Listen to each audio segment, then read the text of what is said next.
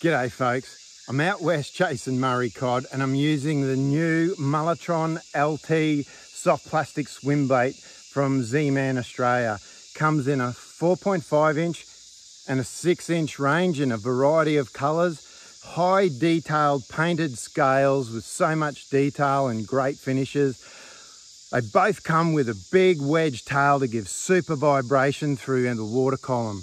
Inside is a heavy duty harness, which this hook actually feeds into. LT meaning line through. The leader line is fed through the nose of the swim bait and attached to this hook. So once that fish is pinned in the jaw, what happens is the fish has minimal chance of using that soft plastic swim bait as leverage to get away.